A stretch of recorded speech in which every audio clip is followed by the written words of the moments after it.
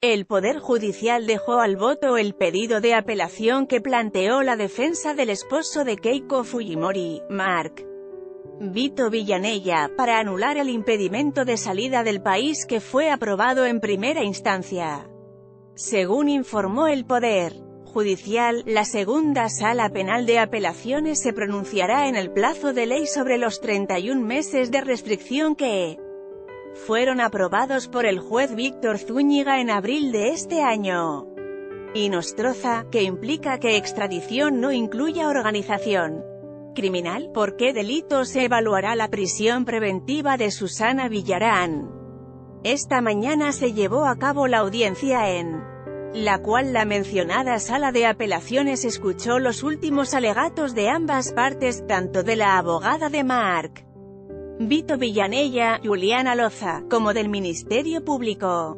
La Fiscalía incluyó en la carpeta de investigación contra Keiko Fujimori. Fuerza Popular al esposo de la ex candidata presidencial por considerar que habría realizado transacciones para camuflar aportes ilícitos de las campañas presidenciales del 2011 y 2016.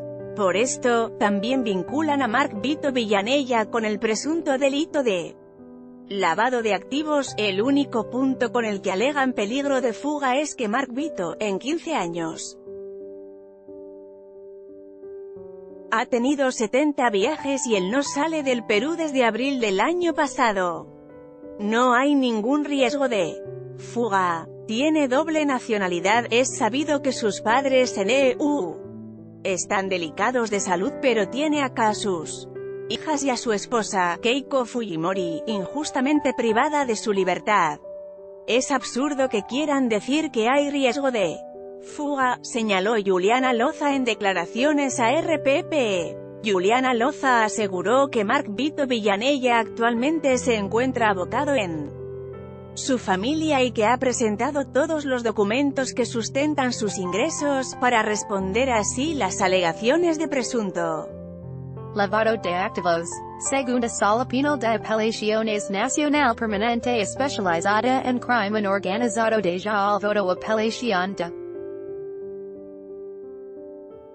a impedimento de salida del país por 31 meses decretado en su contra por lavado de activos pit.twitter.com barra wib 1 wibel 9b Poder Judicial.